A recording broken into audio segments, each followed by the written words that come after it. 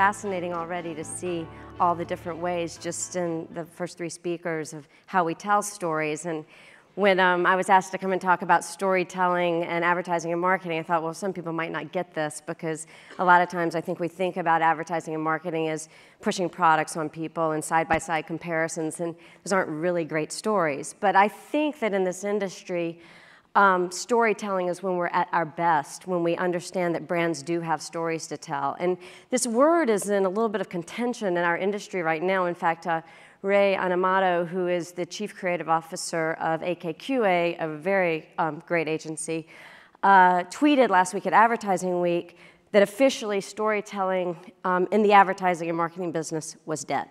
And um, I don't feel that way. In fact, I don't know if you all have it, but I have, a, I have a belief that storytelling will be over when the world is perfect. And I don't think we're there yet. So I think we got a, a lot of stories to tell. So um, I was trying to think when, when uh, I was approached to talk about this, I thought, all right, when was the first time that I remember being told a story through advertising? And I think it was when I was about 14 years old. Um, I was living in Greenville, South Carolina. I was down in the basement of our house watching Star Search with Ed McMahon, so it was a long time ago. And um, I was on this kind of green, uh, black and gold and yellow carpet. It was not pretty, but it had been really cheap at the store. So it just, it just that was sort of my world. And this ad came on that you know I later learned was shot by Ridley Scott. Um, and it started off with this beautiful blonde woman, and she walks onto this green grass towards this beautiful glimmering pool, and she sort of drops her cover up and sits down, and then this man appears mysteriously at the other end of the pool who you know now i would describe as the international man of mystery but at the time i was like just i'd never seen a man like this. And he dives in and then a plane comes up over her and i remember when what is that this is a world i've never seen who, who are these people where do they live where do you see a pool that sits in the middle of grass and not concrete and I think that's what stories do. I think stories show us worlds that maybe we've never known, and then we picture ourselves in it. And, you know, I don't know if that's the reason when I was 21 I got on a plane and moved to New York City, but something got my attention in that piece of storytelling that sort of shifted me. And I think that um, the stories that we tell in advertising and marketing and the stories that you know, we tell out in the world are, are similar, which is that sometimes we tell stories that make you think, sometimes we tell stories that make you laugh. Uh, we believe it um, at Leo Burnett. I, I love this philosophy, which is that on our best day, and we have a lot of bad days in advertising where we don't get our stories right or we just get lazy and don't tell a story.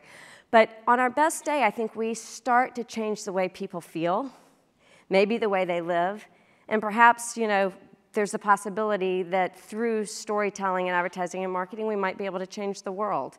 Um, so I, you know, another thing that I like about storytelling and advertising, in, and it might be changing now, but I always loved the finite time. You know, that I grew up um, when film was dominant, and you had 15, 30, or 60 seconds to tell a story. And that's, there's an art to that just in and of itself. I, um, I always liked knowing that we were done at 60 or we were done at 30. And I love my um, father came by an editing studio years ago and we were supposed to go out to dinner. And he said, Well, when can we go? And I said, Well, we've got a 60 second spot and it's coming in at 62, so we got to cut two seconds out of it. He said, Well, that should take two seconds, right? And an hour later, uh, he was arguing and going, no, if you don't have the smile from that guy, it just completely ruins the story. You know, so put the eyeball bulge out and keep the smile, you know. And um, so it's a really fun art form, this short story um, telling. Another thing that's interesting about storytelling and advertising and marketing is I, I grew up in um, dance and um, theater. And when I came into it, I started treating brands and products like characters. So I always thought of them as like, what's their role? What's their purpose? What do they do? And that made it a fun way to tell a story. And it's kind of interesting. Um, again, I, I, kind of like the structure of advertising and marketing. So we actually, instead of me going, what am I interested in? What stories do I want to tell? I actually am told, here's your character, this brand or this product. Now go tell a story about it. And I like, I like having that structure. Um, so that's kind of uh, what, what I think about storytelling in um, this business. And I thought, you know, better than um, talking a lot about it, I would just show you some of the stories I've told over the past 25 years. Um, and I'm going to start with the first story I got to tell back in the 80s. Um, so we'll just let this reel play, and hopefully you'll enjoy some of them.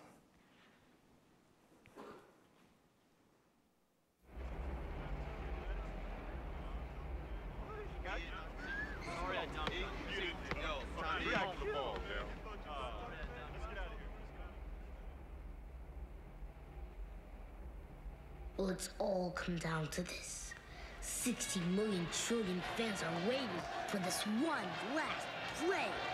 You know it's going to Darryl Jenkins. He moves left, he moves right, he's double teamed, triple teamed, the whole team teamed. Whoa! Now the only thing between him and the basket is his big ugly brother Wesley. He gives him the old shake and bake. His mom's crying, so's his dad. Boy, is his brother jealous. He looks at the clock. Four seconds, three, two, he leaps, he shoots.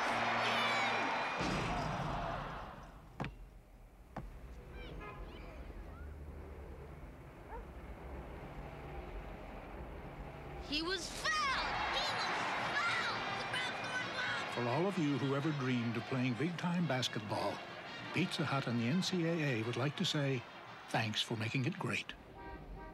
Well, it's all come down to this. 60 million trillion fans are waiting.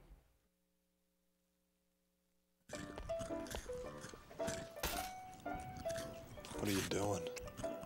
What? You're eating M&Ms. Yeah? So are you? I'm not an M&M. You don't eat your own kind, it's unnatural. Here, give me this. Ooh, I like crispy. Give me the bags. Just disturbing.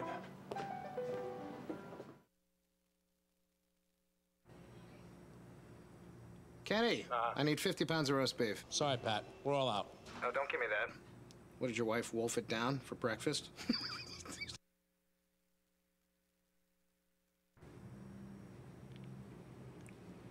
that came out wrong. Look, she's she's she's not she's look at me. I mean, we're probably we probably weigh this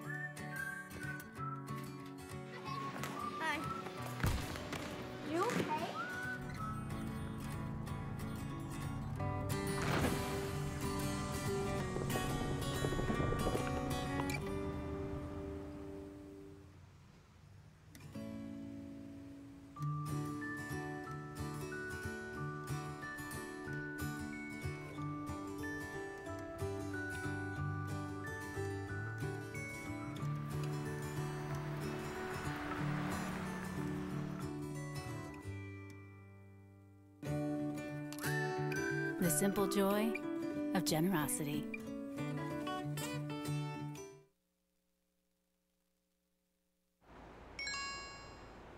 I'm a teenage girl.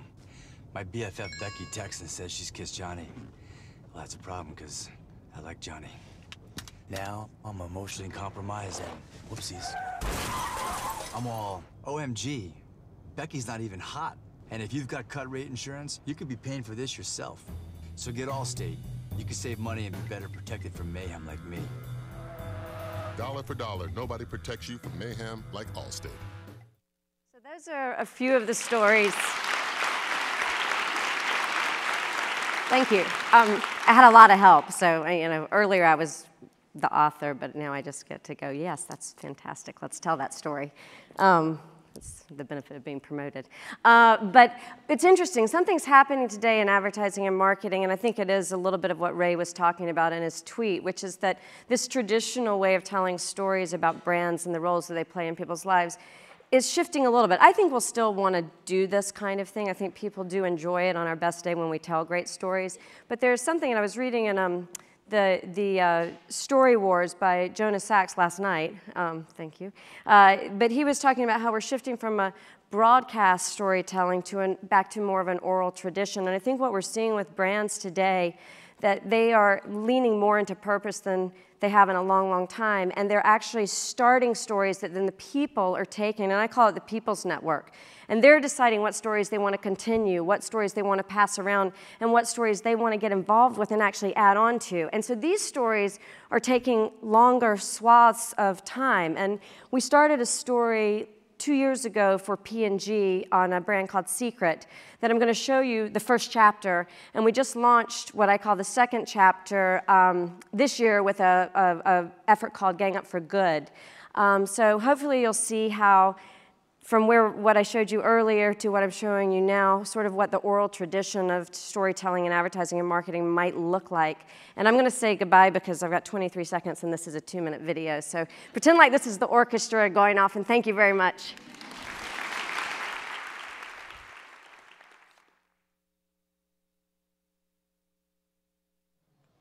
Ashley, I just wanted to tell you that I'm sorry for the rumors I made up about you being so promiscuous.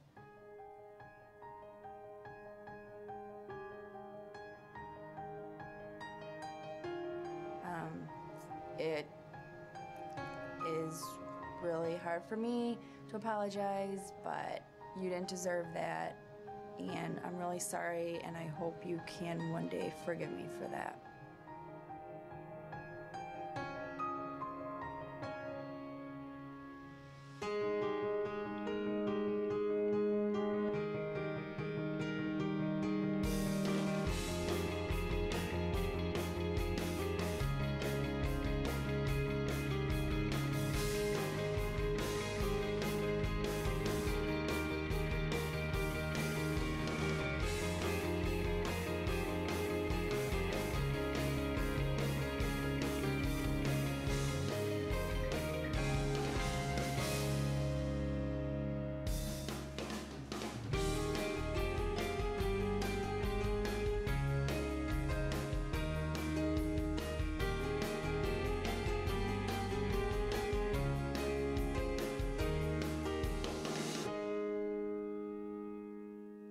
Never forget being in junior high and something really crummy happened with Rebecca.